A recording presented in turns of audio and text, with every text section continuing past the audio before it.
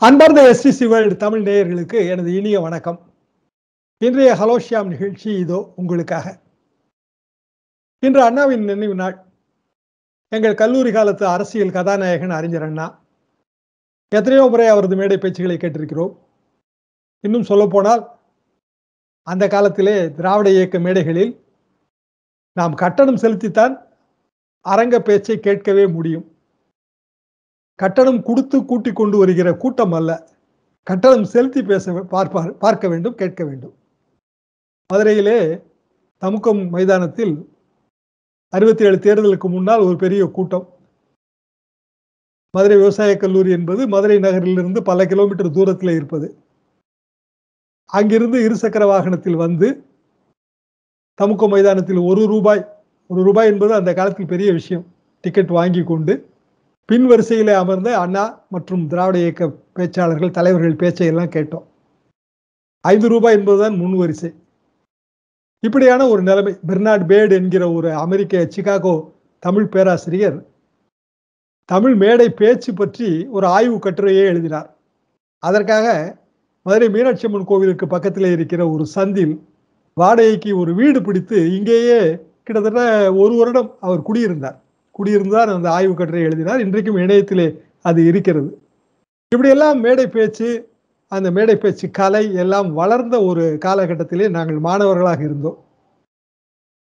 அன்றைய மேடை பேச்சு கலையின் பிதாமகர் அறிஞர் அண்ணா. எனவே மிக இயல்பாக எங்களுக்கும் அதே மேடை பேச்சு ஆர்வம் எழுத்தார்வம் எல்லாமே வந்தது. எல்லாவற்றுக்குமான ஒரு ரோல் மாடல் என்பது பேரறிஞர் அண்ணா தான் அண்ணாவின் நினைவு நாளிலே அவரை வணங்குகிறேன்.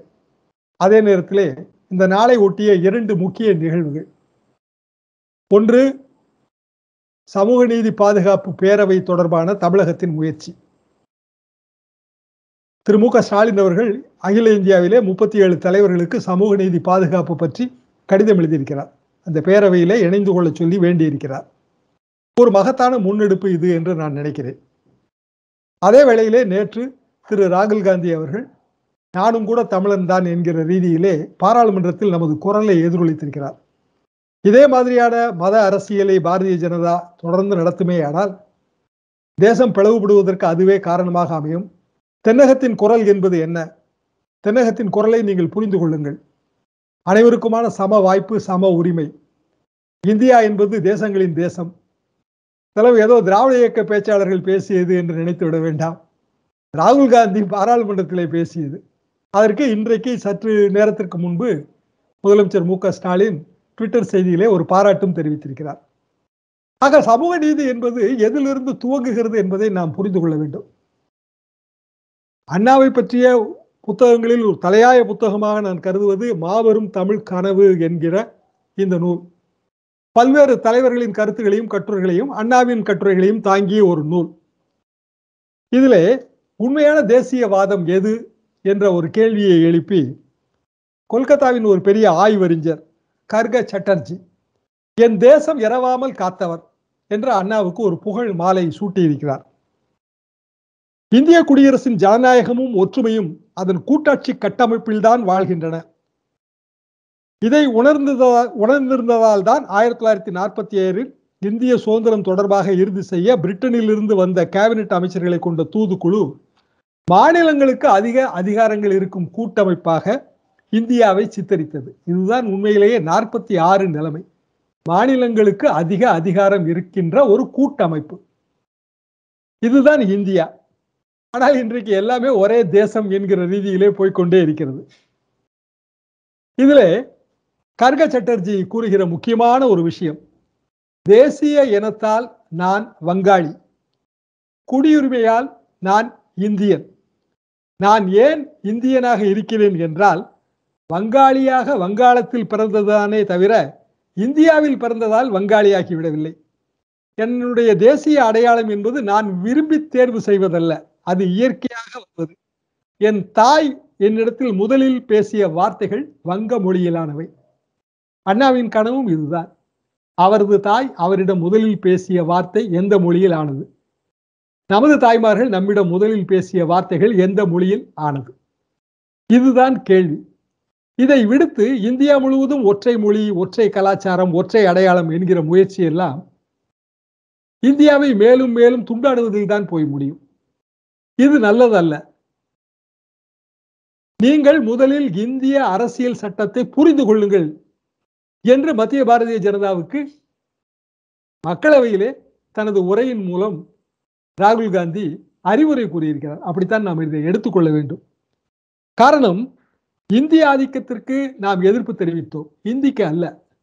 ஆயிரத்தி தொள்ளாயிரத்தி அறுபத்தி ஐந்தில் இந்திய எதிர்ப்பு போராட்டம் எங்கள் கல்லூரி காலத்து போராட்டம். அறுபத்தி ஏழு அண்ணா ஆட்சிக்கு வந்து விட்டார். அப்போது மத்திய அமைச்சரவை சேர்ந்த யாரோ ஒரு சிலர் மீண்டும் இந்தி வருகிறது என்கிற ரீதியில் பேசிவிட்டார்கள். நாங்கள் மதுரை வேளாண்மை கல்லூரி. உடனடியாக ஒரு இந்திய ஆதிக்க எதிர்ப்பு குழுவை அமைத்து மீண்டும் இந்திய எதிர்ப்பு போராட்டம் துவங்க வேண்டும். ஆனால் நடந்து கொண்டிருந்தது அப்போது அண்ணாவின் ஆட்சி. என்று நாங்கள் வந்து கொதித்து எழுந்தோம். இந்திய எதிர்ப்பு போராட்டத்தின் ஆரம்ப புள்ளி என்பது மதுரையிலே அமைந்தது. எனவே முதலமைச்சர் அண்ணா இதை பெரும் கவலையாக எடுத்துக்கொண்டார். மீண்டும் ஒருமுறை இதே மாதிரியான உணர்வுகள் இதே மாதிரியான போராட்டங்கள் தமிழகத்தில் வெடிப்பது என்பது இந்த தேசத்திற்கு நல்லதல்ல என்று அவர் உணர்ந்தார். உடனடியாக எங்கள் தலைவர்களை எல்லாம் அழைத்து அவர் பேசினார். பேசி நான் இருக்கும் வரை இந்திய ஆதிக்கம் என்பது தமிழ்நாட்டில் வருவதற்கு வாய்ப்பே கிடையாது. போராட்டம் என்பது வேண்டாம் என்று அறிவுரை கூறினார். அவரது அறிவுரையை நாங்கள் ஏற்றுக்கொண்டோம். இது ஆயிரத்தி தொள்ளாயிரத்தி அறுபத்தி ஏழு வரலாறு. அதை ஒட்டி மதுரை யானைமலையிலே தமிழ் வாழ்க என்று இந்த மலை சரிவிலே எழுத போய் கீழே விழுந்த அடிபட்ட கதையெல்லாம் இருக்கிறது. நான் எதற்காக இதை கூறுகிறேன் என்றால் நமது கொள்கை என்பது இருமொழி கொள்கை எப்போதுமே. ஆனால் மத்திய பாரதிய ஜனதா அரசால் நியமிக்கப்பட்டு இங்கு ஆளுநராக இருக்கிற ஆர் என் ரவி நமது கவர்னர் இந்த மண் அரசியலை புரிந்து கொள்ளாமல் மீண்டும் மும்மொழி கொள்கையின் பெருமையை சிலாகிக்கிறார். நீட்டு போராட்டம் பற்றி நேற்று ராகுல் காந்தி மக்களவையிலே எதிரொலித்திருக்கிறார். நீட் வேண்டாம் என்பது தமிழ்நாட்டின் கொள்கை. அதை நீங்கள் புரிந்து கொள்ள மறுக்கிறீர்கள். இந்தியா முழுவதுக்கும் ஒற்றை தேர்வு என்று சொல்கிறீர்கள். அது மிகப்பெரிய தவறு என்றெல்லாம் கண்டித்திருக்கிறார். தமிழகத்தின் குரலை அவர் அப்படியே எதிரொலித்திருக்கிறார். அந்த காலத்திலே நேதாஜி சுபாஷ் சந்திர போஸ் அடுத்த பிறவி என்று ஒன்று இருந்தால் நான் தமிழனாக பிறக்க வேண்டும் என்று ஆசைப்படுகிறேன் என்றார். ராகுல் காந்தி இன்றைக்கு நான் தமிழன் என்று கூறியிருப்பதன் மூலம் நேதாஜியின் வார்த்தையை அடியுற்றி பேசியிருக்கிறார் என்றுதான் நான் கருதுகிறேன். அண்ணா இப்போதும் வாழ்கிறார். இந்த கட்டுரையில் இருக்கிற வரிகள் தான் ஆதிக்கவாதத்துக்கு எதிராக தேசியம் போராட்டம் நடத்தும் போதெல்லாம் அண்ணா வாழ்வார். வங்காளியான என் மீது இந்தி படிப்பது கட்டாயம் என்று மத்திய அரசால் திணிக்க முடியாது. இந்திய தேசத்தின் இரண்டாம் தர குடிமக்களாக என்றாவது ஒரு நாள் முதல் தர குடிமக்களாகிவிட வேண்டும் என்ற கனவுகளோடு நாம் வாழ்கிறோம். இது தள்ளி போடப்பட்ட கனவாக தெரிகிறது.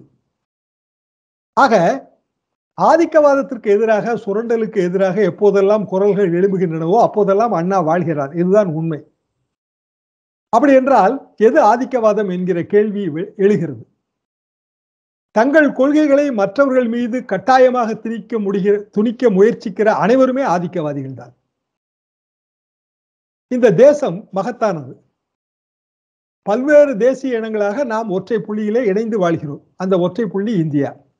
அப்படி என்றால் இந்திய அரசு பல்வேறு தேசிய இனங்களின் ஆசைகளை அபிலாஷைகளை மதிக்க கற்றுக்கொள்ள வேண்டும். எல்லாமே ராகுல் காந்தி பேசியிருப்பது. நாமே போய் மக்களவையில் பேசியது போன்ற உணர்வு எனக்கு அந்த முழுமையான பேச்சை படிக்கும்போது எழுந்தது. தேசியத்துக்கான மாற்று மட்டுமல்ல ஒரு தேச கட்டுமானத்திற்கான முக்கிய துறைகள் சார்ந்தும் நமக்கு மாற்று பார்வைகள் இருக்கின்றன. தமிழகத்தின் மாற்று பார்வைகள். திடீரென்று ஒரே தேசம் ஒரே பத்திரம் என்கிறார்கள். அதாவது பத்திரப்பதிவு நாடு முழுவதுக்கும் ஒன்று என்கிறார்கள். இது எவ்வளவு பெரிய அபத்தமாக இருக்க முடியும்? பத்திரப்பதிவு எப்படி நடக்கிறது? பரிவர்த்தனையின் போது நடக்கிறது. அந்த பரிவர்த்தனை சரியா என்பதை ஆராய வேண்டிய கடமை பத்திரப்பதிவு துறைக்கு இருக்கிறது. அப்படி என்றால் அது மாநிலம் தழுவியதாக தானே இருக்க முடியும். அது எப்படி தேசம் தழுவியதாக மாற முடியும்? ஆக இது எதற்காக கொண்டு வரப்படுகிறது? காஷ்மீரிலே காஷ்மீரிகளை தவிர வேறு யாரும் நிலம் வாங்கக்கூடாது என்கிற உறுதிமொழியை கொடுத்துத்தான் காஷ்மீர் நம்மோடு இணைந்தது. உறுதிமொழியை அவர்கள் பெற்றார்கள். காஷ்மீரில் இப்போது யார் வேண்டுமானாலும் நிலம் வாங்கலாம். ஒரே தேசம் ஒரே பத்திரம் என்று வந்தால் டெல்லியில இருப்பவர்கள் காஷ்மீரிலே நிலம் வாங்குவார்கள். சென்னையில இருப்பவர்கள் வாங்குவார்கள். அது காஷ்மீர் மாநிலத்துக்கு நல்லதா? இந்த கேள்வி இருக்கிறது அல்லவா? நமக்கு எது நல்லதோ அதைத்தானே நமது அரசு செய்ய வேண்டும் என்பது நமது எதிர்ப்பாக எதிர்பார்ப்பாக இருக்க முடியும். நமது இந்த உணர்வுகள் எல்லாம் இன்று நேற்று தோன்றியவை அல்ல. இந்தியா என்பது பழைய பிரிட்டிஷ் சாம்ராஜ்யத்திலிருந்து வந்தது.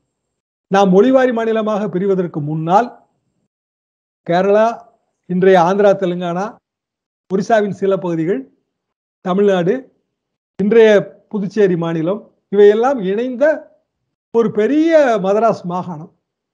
கிட்டத்தட்ட தென்னகம் முழுவதும். தென்னகம் முழுமைக்குமான இடஒதுக்கீட்டு நாம் வைத்திருந்தோம். தென்னகம் முழுமைக்குமான பல்வேறு அரசியல் சித்தாந்தங்கள் நம்முடைய சித்தாந்தங்கள். இப்படியான சூழ்நிலையிலே வட இந்திய அரசியல் என்பதை ஒரு புள்ளிக்குள்ளே நிறுத்தி கொண்டு அதை தென்னகத்தின் மீது திணிக்க பார்ப்பது என்ன நியாயம்? ராகுல் காந்தி இதையெல்லாம் தான் கேட்டிருக்கிறார். அந்த பார்வை என்பது நமது பார்வை. நமது பார்வை எது என்றால் அனைவருக்கும் பொதுவான அனைவரும் வாழ வழிவகுக்கின்ற ஒரு பார்வை. கொள்வாரும் கொடிப்பாரும் குடிவாழா நல்லுலகு என்கிறான் கம்பராமாயணத்திலே. கொள்வாரும் கொடுப்பாரும் குடிவாழா நல்லுலகு. கழ்வாரும் காவலரும் கண்டறியா பேருலகு. இல்லாரும் உடையாரும் இல்லாத சீருலகு. எல்லாரும் எல்லாமும் எய்துகின்ற எழில் உலகு. இதுதான் கம்பனின் கற்பனை. எல்லாருக்கும் எல்லாமும் கிடைக்க வேண்டும். அதன் அடிப்படை எதுவாக இருக்க முடியும்? சமூக நீதியாகத்தானே இருக்க முடியும்? அண்ணாவின் மாபெரும் தமிழ் கனவு அதுதான் அண்ணா அடிக்கடி சுட்டுக்காட்டுகின்ற சமத்துவம் என்றால் என்ன? சமத்துவம் என்றால் என்ன என்பதை நாம் புரிந்து கொள்வோம். எல்லோரையும் சமமாக நடத்துவது மட்டும் சமத்துவம் அல்ல. எல்லோருக்கும் சம வாய்ப்பு அளிப்பது. அதுதான் அவர் முன்னிறுத்திய விரும்பிய தேசத்தின் ஆன்மா. இந்திய தேசத்தின் ஆன்மா என்பது எல்லோருக்கும் சம வாய்ப்பு அளிப்பதாகத்தானே இருக்க முடியும். அப்படி இருக்கும்போது இறையாண்மைக்கு உயிர் நாடியாக நாம் எதை கருதுகிறோம்? நிலப்பரப்பை கருதுகிறோம். இந்தியா என்கிற நிலப்பரப்பு இந்திய இறையாண்மைக்கு உட்பட்டது. அது மிகவும் சரிதான். ஆனால் அந்த நிலப்பரப்புக்கு உள்ளே வாழ்கின்ற பல்வேறு சமுதாயங்கள் ஏராளமான எண்ணற்ற சமுதாயங்கள் ஒவ்வொருவருக்குமான தனிப்பட்ட கலாச்சாரங்கள் இவை வந்து போற்றி பாதுகாக்கப்பட வேண்டியதுதானே? ஒற்றை நாடு என்கிற அடிப்படையிலே எல்லா கலாச்சாரங்களையும் ஒன்றிணைப்பது என்பது ஒரு கலவையிலே போய் முடியும். ஆக அது கலாச்சார அழிப்பின் பிரதிபிம்பம் தானே? இந்த விஷயத்தை ராகுல் காந்தி நேற்று பேசும்போது உண்மையிலேயே ரொம்ப மகிழ்ச்சியாக இருந்தது. அண்ணாவின் வழியில் நின்று ராகுல் பேசுகிறாரே என்பது. ராகுலுக்கு வந்து இந்த நூலை படித்திருக்கக்கூடிய வாய்ப்பு இல்லை. ஆனால் அண்ணாவின் கருத்துகள் ராகுல் வழியாக இந்திய மக்களவையிலே எதிரொலித்திருக்கிறது. பாரதிய ஜனதா அரசுக்கு அறிவுரை கூறுவதாக. அதற்கு முன்னதாக சமூக நீதி பாதுகாப்பு பேரவை என்று முப்பத்தி ஏழு தலைவர்களுக்கு முதலமைச்சர் மு க ஸ்டாலின் கடிதம் எழுதுகிறார். ஆக இனிமேல் இந்திய அரசியல் எதை சுற்றி சுழலப் போகிறது என்றால் சமூக நீதிக்கும் சமூக பாதுகாப்புக்கும் யார் ஆதரவு தருகிறார்களோ அவர்கள் ஒரு அணியிலே. யார் எதிர்க்கிறார்களோ அவர்கள் வேறு அணியிலே. இப்படித்தான் இந்திய அரசியல் சுற்றி சுழலப் போகிறது. இந்தியாவிலே மத அரசியல் முன்பு கிடையாது. ஆனால் தொண்ணூத்தி ஒன்றுக்கு பிறகு அது வலுப்பெற்று கொண்டே வந்தது. இன்றைக்கு தமிழ்நாட்டிலும் அந்த அபாயம் வந்துவிட்டது தஞ்சாவூர் மாணவி தற்கொலை விவகாரத்தை அது எதற்கு மதமாற்ற நிர்பந்தம் என்று சொல்ல வேண்டும்? எங்களை போன்றவர்களே வந்து நாங்கள் கிறிஸ்துவ பள்ளிகளில் தானே படித்து வந்தோம். அந்த குறிப்பிட்ட பள்ளிக்கூடம் கூட அங்கு நூறு வருடத்திற்கு மேலே இருக்கிறது. தொண்ணூறு சதவீதம் இந்துக்கள் வாழ்கிற ஒரு கிராமத்திலே என்ன மதமாற்ற நிர்பந்தம் வந்துவிட முடியும்? அதற்காக வடபுலத்தில் எதற்காக பாரதிய ஜனதா விஜயசாந்தி என்கிற திரைப்பட நட்சத்திரத்தை இங்கு அனுப்பி அதற்கு போராட்டங்களை முன்னெடுக்கிறது? ஆக மத அரசியலே இல்லாத ஒரு மாநிலத்தின் நிம்மதியை கெடுப்பது தானே அது? இதைத்தான் ராகுல் காந்தி கூறுகிறார். தமிழகத்தின் உணர்வுகளை நீங்கள் புரிந்து கொள்ளவில்லை. தமிழகம் என்றில்லை பல்வேறு மாநிலங்களின் உணர்வுகளை நீங்கள் மதிக்க தவறுகிறீர்கள். இந்தியா என்கிற அரசியல் இந்தியா என்கிற நாட்டின் அரசியல் அமைப்பை நீங்கள் முதலில் புரிந்து கொள்ளுங்கள். இந்தியா என்பது யூனியன் ஆஃப் ஸ்டேட்ஸ் மாநிலங்களின் ஒன்றியம். மத்திய அரசு போட்டு பெறுகின்ற பிச்சை அல்ல மாநில அரசின் உரிமை. மாநில அரசு தன் உரிமைகளோடு தான் இந்தியாவில் இருக்கிறது. அப்படி என்றால் மத்திய அரசு ஒவ்வொரு உரிமையாக பறித்து கொண்டே போனால் மாநிலங்களுக்கு என்ன மிஞ்சும்? இந்த கேள்விகளை எல்லாம் ராகுல் காந்தி முன்னெடுத்து வைக்கும் போது பெரிய மகிழ்ச்சியாக இருந்தது. இது உத்தரப்பிரதேசத்தின் குரலாக நாம் பார்க்க வேண்டாம் உத்தரகாண்டின் குரலாக பார்க்க வேண்டாம் பஞ்சாபின் குரலாக பார்க்க வேண்டாம். ஒட்டுமொத்த இந்தியாவின் குரலாக பார்ப்போம். ஆனால் அந்த குரல் வந்து தமிழகத்தின் குரலாக எதிரொலித்திருக்கிறது என்பதுதான் இதிலே மிகப்பெரிய சிறப்பு. அதுவும் பேரறிஞர் அண்ணாவின் நினைவு நாளிலே இந்த குரலை நாம் செவிமடுக்க முடிந்திருக்கிறது. இந்த குரலை உங்களுக்கெல்லாம் நினைவுபடுத்த முடிந்திருக்கிறது என்பது எங்களை போன்றவர்களுக்கு பெரிய மகிழ்ச்சி. அப்படியென்றால் தேசியம் தேசிய அரசு என்கிற கருத்துகள் செயலிழந்து வருகின்றனவா? இந்த கேள்வியை அண்ணா எழுப்புகிறார். ஆம் அதுதான் உண்மை. எல்லோருக்குமான நலன் என்ற பெயரில் பொதுமையின் பெயரால் வெவ்வேறு சமூகங்களின் தனித்தன்மையையும் நலன்களையும் பலிட்டு பலியிட்டு விட்டால் அதற்கு மாற்றாக மக்கள் வேறொரு குடையை எதிர்பார்ப்பார்கள். இது அவரது கருத்து. இந்த கருத்தை விதைத்து இன்றைய அலோஷாம் நிகழ்ச்சியை நிறைவு செய்கின்றேன். மீண்டும் ஒரு நிகழ்ச்சியில் சந்திப்போம். வணக்கம்.